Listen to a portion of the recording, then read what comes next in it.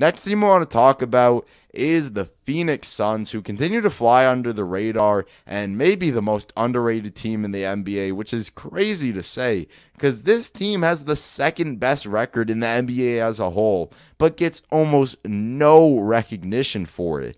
They're a game and a half back of the Utah Jazz, and with Donovan Mitchell's injury, they could easily take over as the best team in the NBA. This team is fantastic, man. 9 and 1 in their last 10. And if you just look plain statistically, it shows how well-rounded this roster is. They are 5th in points per game, scoring 115 points per game on average. Second in assists, getting 27.3 assists per game, and 5th in opponents points per game, only allowing 107.8 points per game. I got to give credit to DeAndre Ayton first, who has been a big reason reason to their recent surge and them playing so well recently. I think DeAndre Ayton is the biggest X factor in the NBA as a whole. I think there is no bigger X factor than the potential of what DeAndre Ayton could bring to this Phoenix Suns team. Because DeAndre Ayton is a super fascinating player. Because you watch him and he has all the talent in the world, all the physical attributes. But sometimes it just seems like mindset wise and how they run their offense, he's not always there. He's a guy who is so just physically dominant. He's 6'11, 250 pounds, pure muscle, but a lot of times he it seems like he's settling for these hook shots, fadeaways, and he's just not really dominating like the way he can. But especially in these past uh, like 10 or so games, he has been playing excellent basketball, scoring over 20 a game, getting over 10 boards, and has just been so impactful for this team. He's obviously such a skilled player around the basket. His footwork is impeccable, and I love when he is just trying to be a more aggressive around the basket. I still think that's a place that he has room to grow on. And it's more comes from the fact, not even just shot wise, because I think he takes a good amount of shots around the basket. It more comes from the type of shots. I want him to be more physically assertive and dominant around the basket. Because for someone as big as him and someone who spends uh, as much time uh, around the hoop as he does, he only gets 2.7 free throws a game. I think that is the one thing that could really unlock DeAndre Ayton as a player. And if he can do that come playoff time, and if he can be locked in, I think the Phoenix Suns could make the NBA Finals. I think he is that big of an X factor for the NBA as a whole because he is so much better on the defensive side of the ball than he's been in previous years. He's quietly becoming one of the better defensive centers in the NBA, which I would have never expected coming into his uh, rookie year. I was expecting him to be an elite offensive force and hopefully come to one day being an average defender. But no, he's legitimately becoming very, very good on the defensive side of the ball. He moves his feet super well. He's using his physical tools around the basket, being a guy who doesn't even get that many blocks. He only gets 1.1 blocks a game. But the thing about him is more how he just affects shots around the basket. He's always doing a good job of contesting and never making it easy for the other team, which is super important. He's a guy who boxes out super well, and that allows the other team to not really get many offensive rebounds. That's that's a big part of defense as well, is limiting the extra possessions the other team will get. Uh, overall, DeAndre Ayton has been playing real well recently, and that is such a big X factor for how good the Phoenix Suns could potentially be. Because I think the rest of this roster is pretty legit. It's just all about their third guy being as good as he can be. I think it's inside DeAndre Ayton to someday being like a 25 and 12 guy. I don't think that's right now, but I think he could be a consistent 20 and 10 if he just sets his mind to it and if he just stays aggressive. So hopefully, uh, what he's done recently uh, keeps up because that just makes this Western Conference playoff so much more interesting and so much more dynamic because that Phoenix Suns team is going to get so much better depending on how good DeAndre Ayton could be because you have Chris Paul alongside him, the ultimate pick and roll partner and the ultimate winner in this league. The Chris Paul effect is such a real and big thing. This guy just improves whatever team he goes to so much. Now, I do think Chris Paul uh, wasn't like isn't uh, the biggest part of this team being so much more successful than last year. I think they were on the right trajectory. I just think Chris Paul was that final piece, and that uh, cannot be understated. The value of that. So even though they went eight zero in the bubble and stuff, and they were on the right track, they were probably going to be better than they were last year. This uh, this year, even without Chris Paul. I just think he puts everything together, mostly coming from his leadership. So many guys look at Chris Paul's numbers and they're like, "Oh, he's only putting up 16 points a game. How good is a guy who can uh, only put up that many points a game really be?" This guy's a top 20 player in the league. I don't care what anyone says. He's one of the most impactful leaders in the NBA. You can just see it with how he leads this team on a night to night basis. He's always talking to Chris Paul and he's always giving him tips on how to become a better player. That's something Chris Paul is known for, is for his leadership. And even though that can come off a little bit harsh to certain people, just his style of leadership and how aggressive he is, the true greats, a guy like Devin Booker, who is someone who has that mentality that you need. He's someone who uh, is inspired a ton by Kobe. Those type of guys are just gonna take that leadership and take that advice and allow it to make them such a better player. And obviously, he's one of the highest IQ basketball players this game has ever seen. Such a fantastic playmaker. And again, I think if DeAndre Ayton can get aggressive and be more involved in the offense, that pick and roll could be one of the most deadly things you will see in the NBA uh, with both guards because that is the great thing about this team is that they have two guards who can both close out the game and both run pick and rolls and both be so effective in different ways.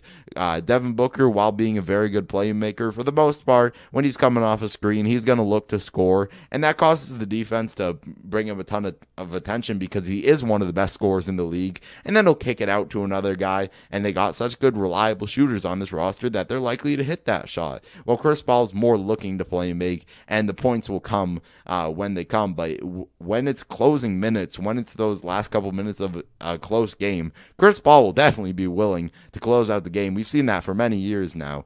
D Book has had such a great year, man. I mean, He's almost averaging 26 points per game, four and a half assists, has been uber efficient all year, uh, 59% true shooting percentage. He's been improved on defense, even if he isn't a great defender. And he's a guy who has uh, closed out multiple games for them and is just such a consistent scorer. Like, even when Devin Booker isn't going off every game, I can always rely on him for the most part to have a good game. He'll have a dud here or there. I mean, he shot 4 16 against Miami. They were still able to win that game, though. And that is the impressive thing about this team is that they have so many options. So even uh, on the rare game that Devin Booker will struggle, they can still win games. But he put up 23 against Sacramento, 24 against Houston, uh, 27 against Washington, 24 against the Clippers. And these are all on good efficiency as well. I mean, he put up 24 against the Clippers on 13 shots. This is just the type of things that Devin Booker does casually. And he's just one of the most naturally gifted scorers we've seen come into the league for a long, long while. So you got your mini big three right there. And I think DeAndre Ayton putting it all together could make that a legitimate, like, great big three. But then you look at the role players around them, and it's just such a beautiful fit, man, because they all play off each other so, so well, and they all sacrifice to make each other better players. Mikal Bridges is an elite role player and one of the best 3 and D guys in the league. The fact that this guy doesn't get all defense recognition or doesn't really get put in that discussion is mind-blowing to me. This guy is one of the best wing defenders in the NBA. He's 6'6 with crazy long arms. He gets put on the best player every single night unless it's like a dominant big man. You see him guard 1 through 4 on a regular basis. He'll go from guarding Kawhi one night to Luka the next to LeBron the next. Like this is just the type of things that Mikal Bridges brings to this roster, and he's so improved on the offensive side of the ball as well, being so much of a better shooter than he was in previous years. 4.2 threes a game and 41% is excellent. He's he can create for himself occasionally, but on offense, he's mostly going to get catch and shoot threes on the wing. He's going to get backdoor cuts, easy buckets in transition, and that's what he uh, brings value to the this team in. It's that he understands his role and he plays it to a T. It's not about being the best player, it's being the best player in whatever role your team needs. And that is exactly what Mikal Bridges does. Potentially the most underrated player in the NBA. Cameron Johnson, another fantastic role player, has the versatility to play both four positions. 6'8, very good on the defensive side of the ball. Fantastic three point shooter as well. Another perfect fit. And so many people were laughing at that pick, me included, I'll be completely honest. But it makes sense in retrospect because now you're looking at it and you're actually looking at like the long term vision that this team had. And it makes uh, just the, all the world of sense now because they're getting guys who just make sense next to the other guys they have on this roster. They're not necessarily going for the highest ceiling guys or the guys who have the most potential. They're going for guys who they know will fit their culture, who they know will fit their team, and who they know will fit alongside their best players, which I think is a perfect thing to do because it makes your best players happy and it maximizes their talent. You got Jae Crowder, another guy just like that fits in perfectly. Defensive wing, shooting 39% from three this year. Another perfect player to have alongside. Really good guards. E'Twaun Moore, a guy who can shoot the ball as well. So many guys on this roster who uh, can shoot, which is very important. E'Twaun actually isn't shooting that good at all this year, but I do just like what he can bring as a role player. Langston Galloway, a guy who's a proven shooter in this league and is a really underrated role player, shooting 45% from three this year. And then you got their best bench piece and one of the more underrated players in the NBA as well, which is Dario Saric, who's actually played the backup center position this year, which has been fascinating to watch because I feel like he's been so misutilized throughout his career. And I guess this is what he needed to be used as. I thought he was going to be most successful being used as a four who could play, make, and shoot.